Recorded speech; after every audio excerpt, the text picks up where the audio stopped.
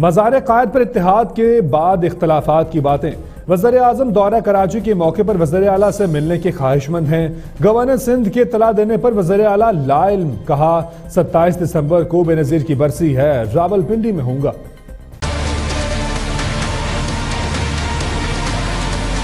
इसमें एक इस चीज़ में ज़रा ऐड कर दूँ इसलिए कि मुझे अभी पहली बार मीडिया पे तो मैंने सुना था लेकिन मुझे पता नहीं अभी गवर्नर साहब ने बताया कि सत्ताईस तारीख को प्राइम मिनिस्टर साहब कराची आ रहे हैं मुझे अभी तक कोई इतला उसकी नहीं है वज़ी अजम साहब जो सत्ताईस को कराची तशरीफ ला रहे हैं उसमें